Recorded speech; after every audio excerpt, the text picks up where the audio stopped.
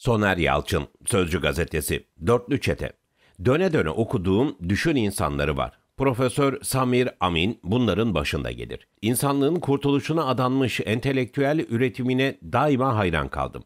Paris'te 20 yaşında Marx eseri Kapital'i okuyor. Kapitalizme ve onun ideolojik tezahürlerine dair muazzam kültüründen ve tahlilin kanıtlayıcı gücünden fazlasıyla etkilenmiştim. Ondan sonra da her 20 yılda yeniden okuyor fakat bu okumalar açlığını gidermiyor ve aklına şu soru takılıyor. Berbat sistem kapitalizm. Çin'de Müslüman, Arap, Orta Doğu'da değil de neden Avrupa'da doğdu? Tarihçi sıfatını hak eden namuslu tarihçiler medeniyetin kaynağının Avrupa olmadığını kabul eder. Mısır'da, Çin'de değil de neden Avrupa'da doğdu kapitalizm? Samir Amin sorunun cevabını Marx'ın eserinde bulamıyor. Engels ailenin, özel mülkiyetin ve devletin kökenini okuyor, orada da yanıtı bulamıyor, arayışını sürdürüyor. Tıpkı Marx Engels gibi çok okumalar, araştırmalar yapıyor sürekli.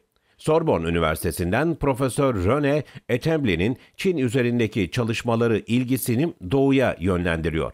Lafı geldi eklemeliyim. Gerek Samiramin gerekse Entible Batı'da yok soykırım destekçisi, yok eşcinsel düşmanı yalanlarıyla daima karalandı.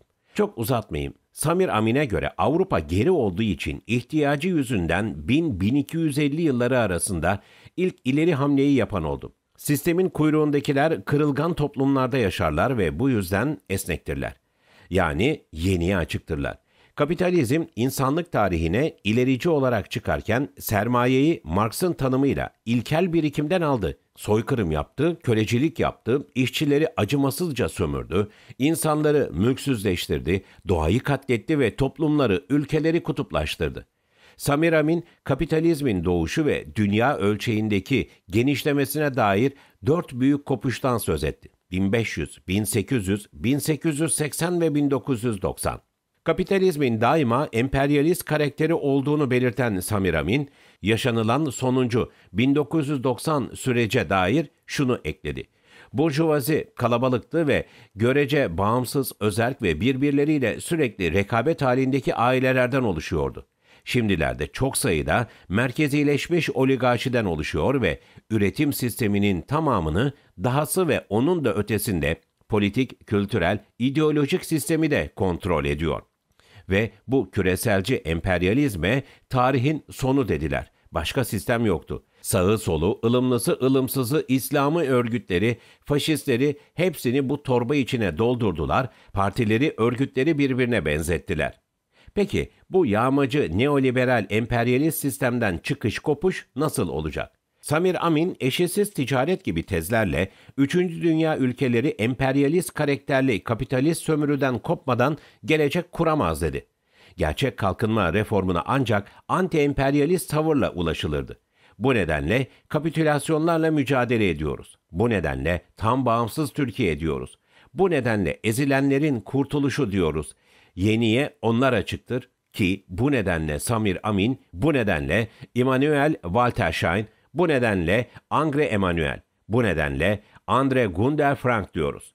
Kapitalizme yönelik köklü eleştiriler getiren bu düşün insanlarına batıda dörtlü çete adı verdiler.